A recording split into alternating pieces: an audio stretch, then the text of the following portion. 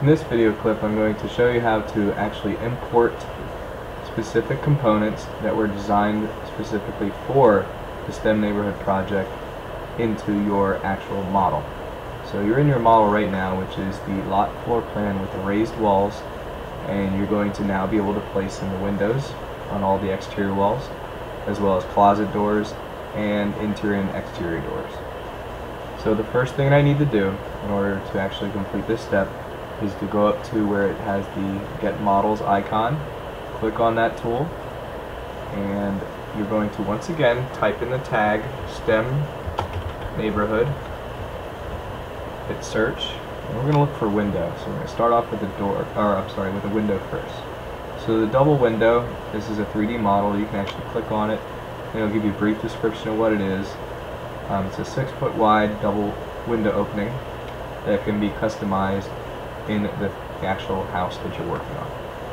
So we're going to download the model, load it directly into SketchUp, and unfortunately it comes into the, mo the model um, oriented differently than what you would hope it would be. so what I'm going to do is just simply click anywhere to uh, basically snap the object or the component into place. Then I'm going to orbit, I'm going to find where the windowsill is, and the windowsill is the actual part right here. I need to rotate that then. So let's rotate this 90 degrees. Okay. And then in order to, for me to put on this wall and this opening right here, I'm going to then once again need to rotate it 90 degrees. So now you zoom in, there's the windowsill part, uh, which indicates that that will be the bottom of the window and this will be the top. And you will see that there is molding that goes all the way around the window. Um, that's exterior molding, which will basically sit flush on top of the siding, or in this case, on the side of the house. So the next thing I need to do then is to move in, zoom in, and make sure that I have the move tool selected, and I'm going to click right on this endpoint right here in the component. I'm going to make this, I'm going to mate this endpoint with the corner of the window opening. So I'm going to zoom in, and it's going to go right there. So as you can tell, um, there's going to be a little bit of sizing I have to do later, but for right now, this is exactly what I want. Next thing I do then is I want this right here, this endpoint in the component, to sit flush against the wall's face. So I need to move it in along the green axis. So I'm going to click once, drag it in until that reaches the face. Oh, there we go. I need to be on the green axis. Yeah. So let's try it again. be a little tricky on face. Okay, so there is the actual window, and you can actually see inside the wall where the window sits. Let's zoom out and go to the other side. And as you can tell on the bottom, the window still needs to be lowered. So I'm going to move this and zoom in on this part right here and lower that down until it reaches the bottom of the windowsill. Zoom out and there you go, there's your second window. I already put the window in for the demonstration. In order to drag a window to the other, other side, one way of doing that is to click on the window, click the move tool, and once again, this is where it's a good idea to find this endpoint that sits flush against the wall, and find that endpoint, and then hit Control plus, and we're going to zoom out pull it over to other side, and it's going to get a little tricky. So let's zoom out, and zoom back in. And there you go, it's right on the wall, and it's sitting flush against the wall. Actually, no it isn't, so we're once again have to move that in so it sits on face. And come back out, and looks good to me and if you're satisfied with where the window is, actually it needs to be lowered. You can see just by this little spot right here. So let's lower the window. Into about there.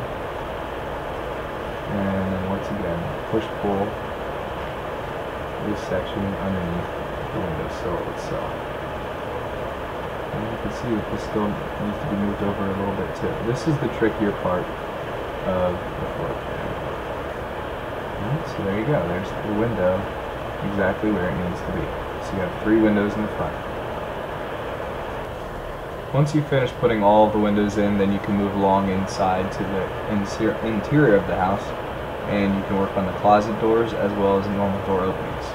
I'm going to show you where you can find those once again in the Get Models STEM neighborhood is the tag, it's search.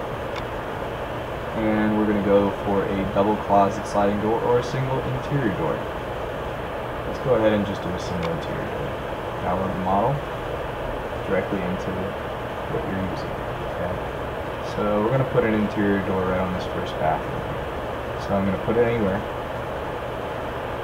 And these are a little bit trickier too because like I said, all the molding is already on.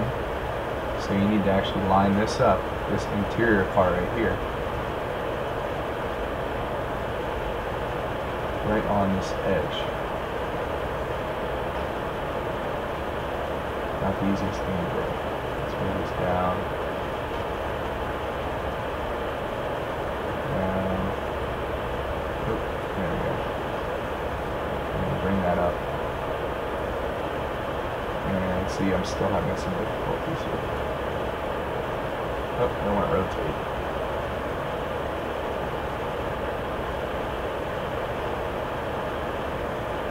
Up right on that edge. Okay. And then we just need to push pull it in until this reaches the face.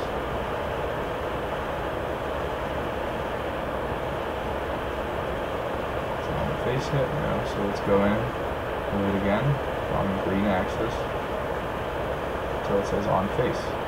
Go to the opposite side, there is the door. And if anything looks like this, once again need to open the door a little bit over. over. Okay, so the full white window or door opening. Okay. So there is the first interior door and this interior door is actually going into the half bathroom. it's a pretty small bathroom, but that's why it's called the half bathroom or vanity, where simply it will just be a sink and a toilet. To put in the closet door, let's go ahead and get the model for the closet door.